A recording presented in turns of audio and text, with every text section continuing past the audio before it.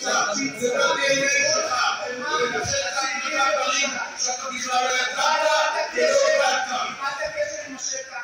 אתה מנותק, ואתה לא מבין מה אני אומר, ואין לי ציפיות. אתה אפילו בתור יחצן של המאמרים לא היית טוב. הרגע אתה לא מבין שהפיל אותך. אתה חצן לעלות את זה. אתה מזה לא תלכו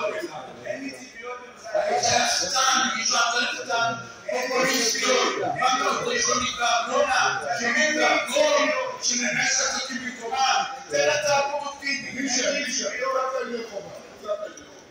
אומר, תן לי הצעה פרודוקטיבית, תשמע לך עשרה סעיפים בתוכנית, תתחבר למציאות, תפסיק לצעוק, בלי הבחנה, תהיה שקול, תבין שיש פה משבר. אתה אמור לנצל את האנשים האלה. בוחרי הליכוד, שאתה כבר לא נמנע בסיעת הליכוד, בוודאי שרוצים את הדבר הזה.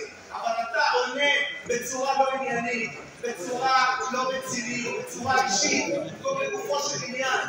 אתה אה, אה, איבדת את הקשר עם הציבור הזה, ואתה לא מבין כמה אתם לא מחוברים לשטח.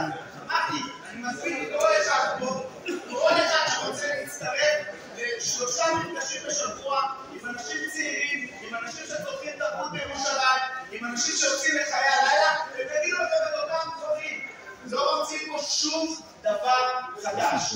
כל מה שמבקשים מכם זה להבין ששמנו תוכנית, עשינו עבודת מטה, ישבנו עם אנשים, עכשיו התור שלכם לממש את זה. זה הכול. תודה רבה. כן,